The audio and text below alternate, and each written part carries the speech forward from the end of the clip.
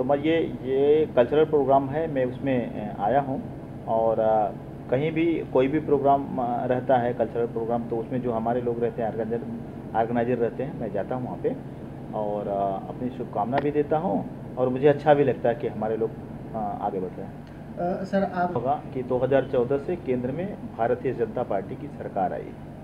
आपको पता है जुमले की बात उन्होंने किया है सारे लोगों के, पूरे देश के लोगों को बहकाया उन्होंने कि हर व्यक्ति के अकाउंट में पंद्रह पंद्रह लाख रुपए आ जाएँगे।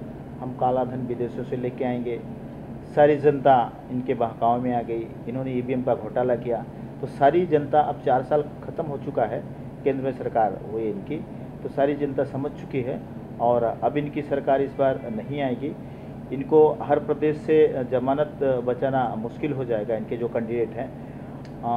पूरे देश में बहुजन समाज पार्टी की सरकार बनेगी बहन कुमारी मायावती जी इस देश की प्रधानमंत्री बनेगी।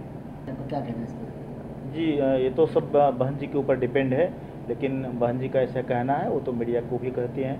मन से उन्होंने कहा कि अगर उनको सम्मानजनक सीटें मिलेंगी हर प्रदेश में तो वो ज़रूर गठबंधन करेंगे लेकिन गठबंधन करना न करना ये बहुजन समाज पार्टी की जो मुखिया हैं बहन कुमारी मायावती जी, उन पर तय करता है।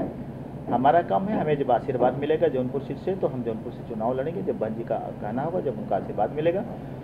मैंने दो बार पार्लियामेंट चुनाव लड़ा है, बहुजन समाज पार्टी से बहन जी का आशीर्वाद मिला हुआ है। एक बार आशीर्वाद मुझे मिला था विधानसभा से, रामपुर खास प्रतापगढ़ से मैं चुनाव लड़ा हुआ। लेकिन ईवीएम का घोटाला हुआ, आपको पता होगा। घोटाले के कारण ये उत्तर प्रदेश में भारतीय जनता पार्टी की सरकार बनी है। अगर ईवीएम का घोटाला नहीं होता तो इनकी सरकार नहीं बनती। तो मैं तो सिर्फ़ इतना कहना चाहूँगा, जब मुझे आशीर्वाद मिलेगा, मैं चुनाव लड़ूँगा। और मैं ही नहीं, पूरे देश में बहुजन समाज पार्टी के गठबंधन से आप वैसे ही जो बहन जी का आदेश होगा, जो चुनाव लड़ेगा, बहुजन समाज पार्टी जीत के आएगी। और बहन कुमारी मायावती जी इस देश की प्रधानमंत्री।